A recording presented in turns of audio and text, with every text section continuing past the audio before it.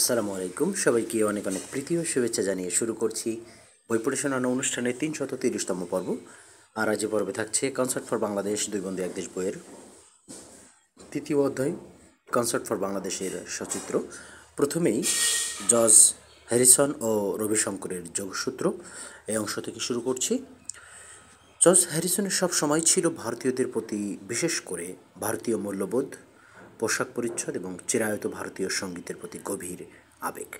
উনিশশো পঁয়ষট্টি সালে তিনি প্রথমবার ভারতে গিয়েছিলেন, যা তার স্মৃতিচারণা অনুসারে একটি অবিস্মরণীয় ঘটনা ছিল। উনিশশো পঁয়ষট্টি সালের পঁচিশ ফেব্রুয়ারি।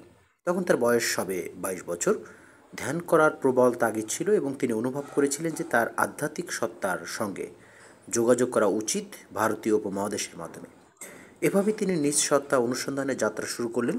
প্রথমে ঋষিকেশে গিয়েছিলেন, সেখানে পবিত্র গঙ্গা নদী তার প্রাচুর্য ও সৌন্দর্য মুগ্ধ করে। ঋষিকেশের ফরেস্ট হিল একাডেমি তিনি অনেক সময় কাটিয়েছিলেন, সেখানে তিনি হিন্দু ধর্ম সম্পর্কিত অনেক ভারতীয় পুরাণ পড়েছিলেন এবং একটি বিশেষ কৌতূহলের বিষয় ছিল রহস্যময় ওম চিহ্ন।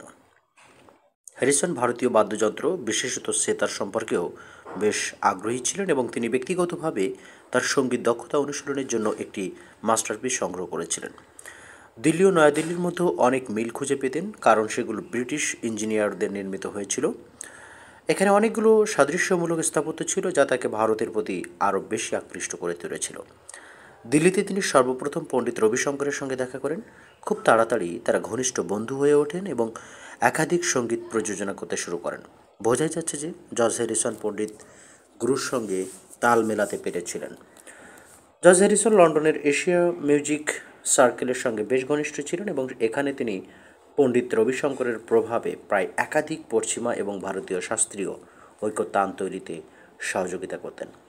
এশিয়ান মিউজিক সার্কেলের পরিচালক ছিলেন আয়না দেভা আঙাদি এবং এই প্ল্যাটফর্মের মাধ্যমে হ্যারিসন পূর্ব বাংলার একজন প্রতিভাবান তবলাবাদক শিল্পী কিংবদন্তি তবলাবাদক আল্লাহ রাখার সঙ্গে পরিচিত হয়েছিলেন। তারপর ধীরে ধীরে ভারতে প্রচলিত শাস্ত্রীয় বাদ্যযন্ত্র ও ধ্রুপদী সঙ্গীতের বিভিন্ন রূপ এবং প্রকারের সঙ্গে নিবিড়ভাবে যুক্ত হয়ে পড়েন। রবিশঙ্করের মতে সবচেয়ে গুরুত্বপূর্ণ বিষয়টি হলো বাদ্যযন্ত্রগুলোর প্রতি গভীর শ্রদ্ধা রাখা, যা শৃঙ্খলা এবং শতাব্দী প্রাচীন ঐতিহ্যের অংশ। প্রিয় শ্রোতা, আজ এ পর্যন্ত রাখছি। জজ হ্যারিসন এবং পণ্ডিত রবিশঙ্করের যোগসূত্রের বাকি অংশ আগামী শোনাবো সে প্রত্যাশা বিদায় নিচ্ছি। আল্লাহ হাফেজ।